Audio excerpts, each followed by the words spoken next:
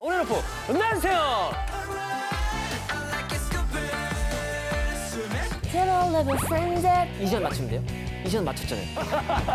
네 안녕하세요. 네 안녕하세요. 오, 아, 뭐, 제발 넘어가세요.